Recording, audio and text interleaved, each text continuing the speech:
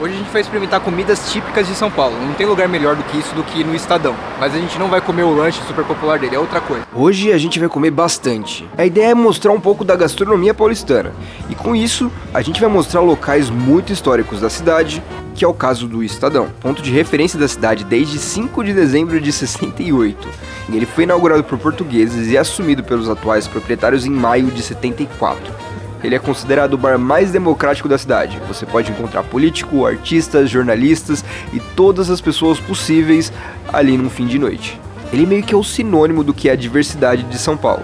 Ah, e a nossa primeira comida do dia é a boa e velha coxinha.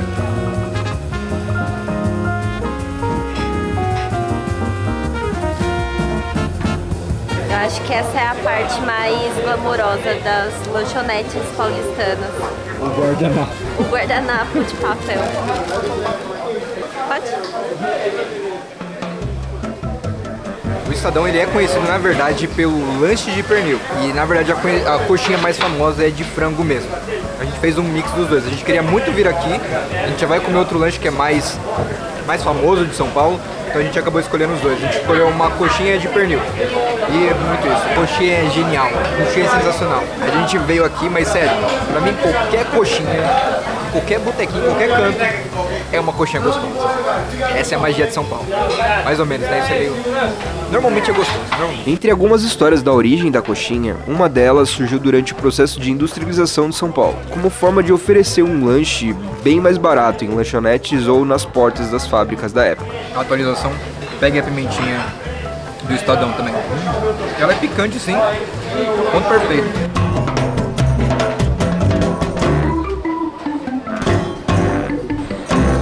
Mesmo com muita vontade de comer esse lanche de pernil, a gente vai comer muita coisa. E a gente precisou definir prioridades aqui. Então a, a nossa prioridade vai ser num outro lugar. Antes de comer esse lanche, que discutivelmente é mais famoso que o lanche de pernil, a gente ia para outro lugar. Saindo ali do Estadão, a gente foi mais pro centrão de São Paulo, Trilha sonora, né? Nossa, total. passando pelo viaduto do chá e chegando naquele centro mais histórico, que inclusive tá com uma proposta de ser revitalizado. Vamos ver se realmente vão fazer alguma coisa aqui. Ah, eu não, não boto fé não, mas vamos ver, né? Quem sabe. Porque é inegável que essa região é muito charmosa.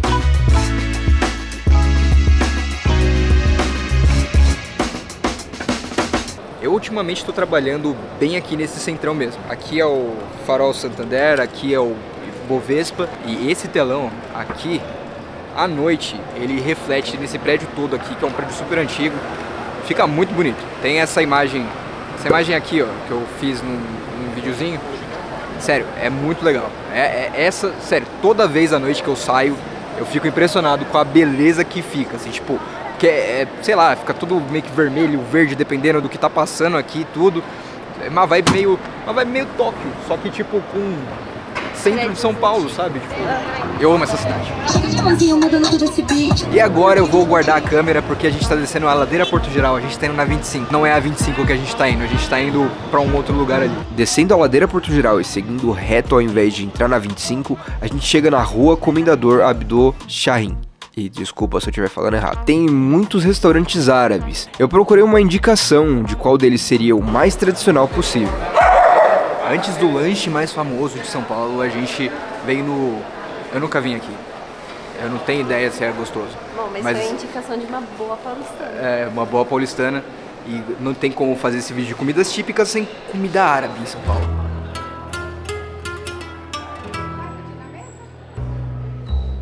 Nós somos no Jacó, um restaurante com mais de 50 anos que nasceu logo depois que o seu fundador veio do Líbano para o Brasil, já com a ideia de abrir um restaurante árabe por aqui. Qual o esfirra mais, mais tradicional? Eu tô muito animado, velho. Como que eu não sabia desse lugar? Rodízio árabe. O rodízio tá bem salgadinho. Mas imagina, você comer comida árabe é caro. E aí de tipo, você comer à vontade um rodízio por 85 reais, tipo, eu acho que é um preço justo, sabe? Esfirra de carne é algo muito tradicional nas padarias paulistanas. E aí a gente decidiu comer um dos melhores que ela tem a oferecer. Uma das coisas que eu mais amo na vida é esfirra, cara. Melhor esfirra de São Paulo. Não sei, mas é boa. Diferente da coxinha, que é frito, né? Então normalmente a coxinha é muito fácil você achar uma coxinha boa. Esfirra não. Esfirra, algumas esfirras elas, elas são dolorosas. Não é o caso dessa. Sério. Eu duvido você já ter visto um cameraman desse jeito. Além da esfirra, a gente também pediu um kibe, que também é muito popular por aqui, só que esse foi frito na hora e é recheado de coalhada. Sério, a esfirra tá na briga pelas melhores que eu já comi, mas o kibe tá com certeza no nosso top 1. Obrigada.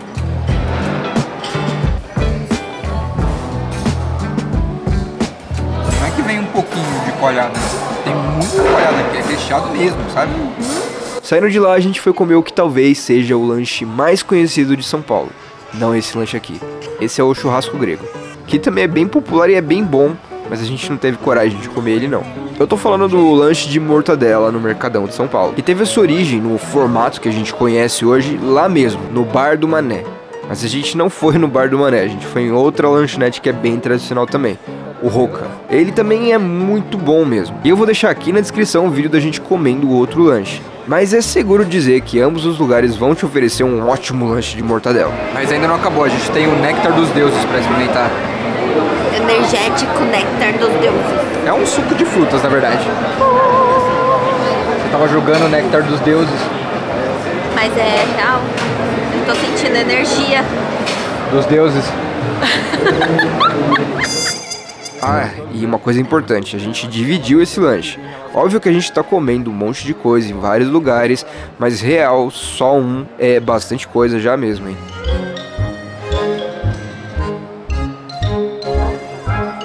Saindo da 25 e de volta pra ladeira Porto Geral, e tendo essa visão maravilhosa da cidade com o farol Santander bem no fundo, a gente foi tomar um cafezinho lá perto.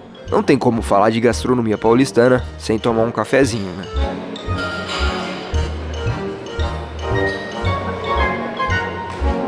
Tava precisando disso.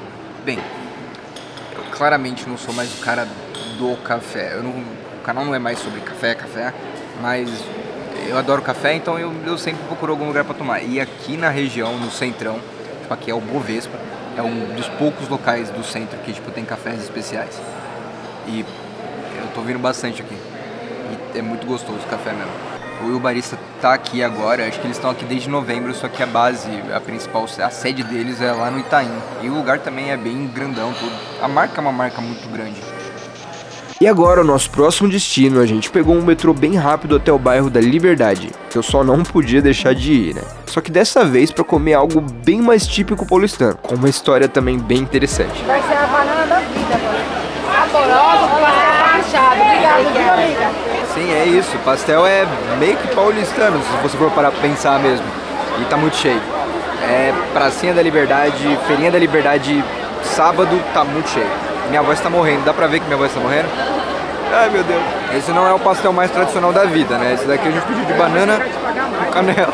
Porque a gente ia comer muito salgado, a gente queria dar uma diversificada e a gente pegou um pastel doce. É isso. É pastel, é fritura, é banana, canela, é gostoso.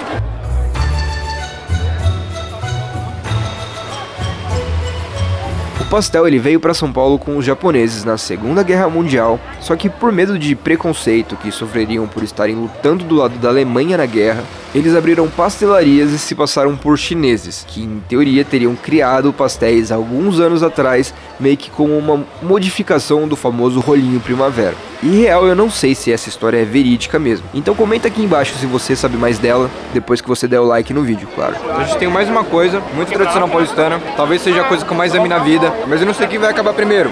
Esse vídeo ou a minha voz, vamos ver, mas a gente tá indo pra esse lugar agora. E depois de alguns bons minutos caminhando, para também fazer um pouco de digestão de tudo que a gente comeu, o nosso último destino é no Bexiga. E dá pra saber o que a gente ia fazer no Bexiga, né? Não tinha como a gente não comer pizza. A gente veio no Bexiga, obviamente, para comer pizza. A gente nunca veio nesse lugar, mas aparentemente ele é muito bem avaliado. E ele é uma fatia porque a gente só não aguenta. A gente andou bastante tudo aqui para queimar calorias, mas a gente comeu o dia inteiro. Então eu tô cheio ainda. Vamos comer, vamos comer.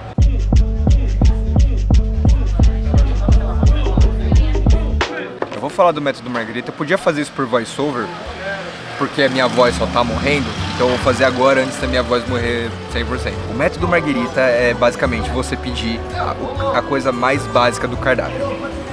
Tenho uma burlada nisso, porque a gente vai pedir o Margarita pro método Margarita, obviamente, só que a gente vai pedir ela especial. Ela tem pesto ao invés de folhas de manjericão. Eu acho que ainda vale, é o método Margarita especial nesse caso. É que eu não posso virar ela na minha cara. É, esse não, mas esse Vai. o teste de.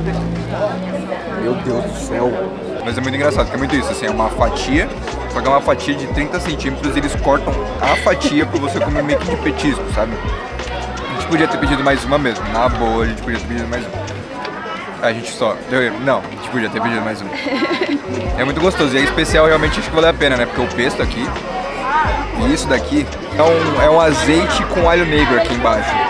Vamos ver. É deles, isso. Tipo, é molho de tomate mesmo. Não, é perfeito. E a gente tá meio obcecado por pesto ultimamente. Existem diversas outras comidas típicas de São Paulo, não é o único, mas eu acho que foram seis coisas, né? Foram, foi bastante coisa, foi bastante coisa.